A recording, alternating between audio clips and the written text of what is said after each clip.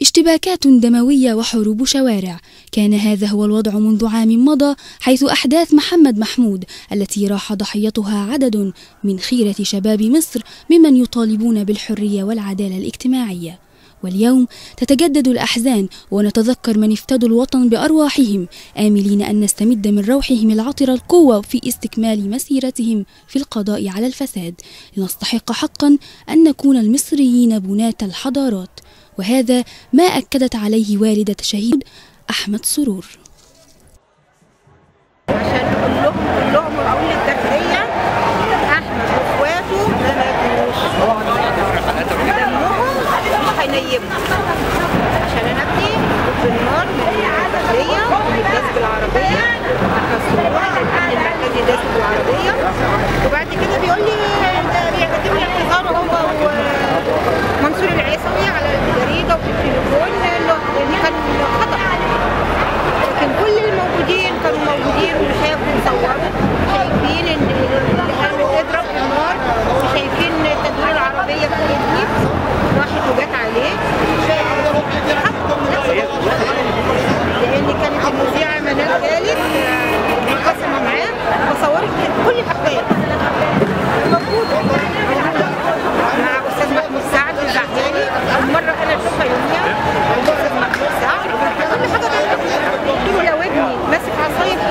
ضربه لو ابني ماسك طوبه هقول ضربه قال لي لا احمد واقف حق حقه.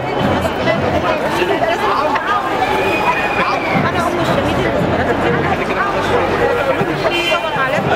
ابني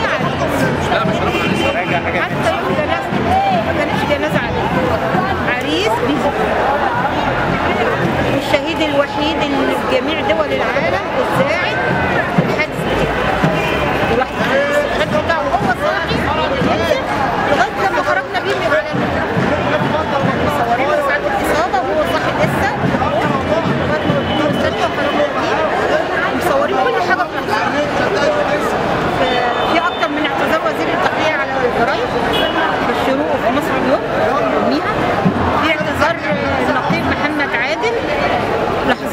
برضو يوميها. في اعتراف أكتر من كده إيه؟ ومع كده خدنا التقرير الطبي من ضرب الأرض فكان هم اخوه الكبير كله ان إن قسط ما يضايقنيش لكن المساومات كانت على أن إحنا نقتله عايزين بقى تقرير اللي أنتوا عايزينه.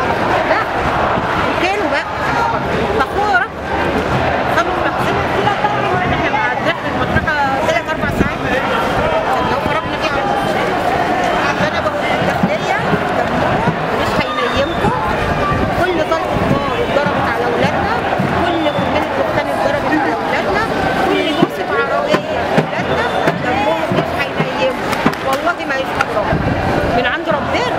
مش قلت إن حد هي لا ده ربنا كل شيء وعندهم نفسهم.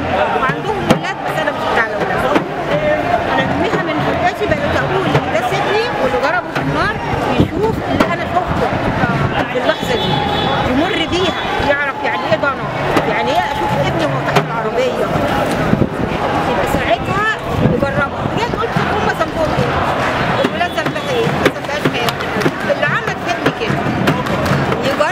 Yeah.